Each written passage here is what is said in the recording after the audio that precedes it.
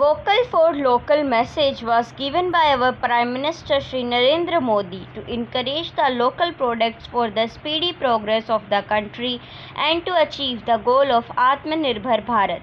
Indian Prime Minister Shri Narendra Modi encouraged people of the country for vocal for local while delivering his seventh consecutive Independence Day speech from the Rajpath of Red Fort on 15th August 2020. He said that the mindset of free India should be vocal for local to achieve the goal of Atmanirbhar Bharat. We should appreciate our local products. Vocal for local.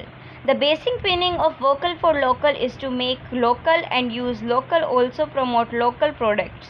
This initiative will provide employment to the many people and the local market will develop.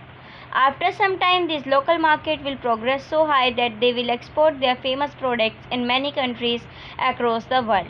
If we use local products, this will not only strengthen local identity but also boost economy of that area and country.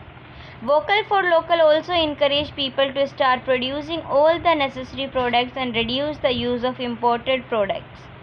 During the countrywide lockdown, when all the mediums of transport were on halt, entire world realized the value of vocal for local and usefulness of local products.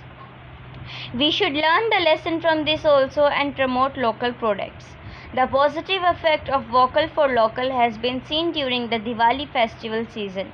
People of the country appreciated local products and purchased local made diya and many other things used in Diwali instead of Chinese products. It can be anticipated by the support of such large number of people in vocal for local during this festival season that this new initiative will strengthen the local market and economy of the country. Thank you. Jai Hind, Jai Bharat.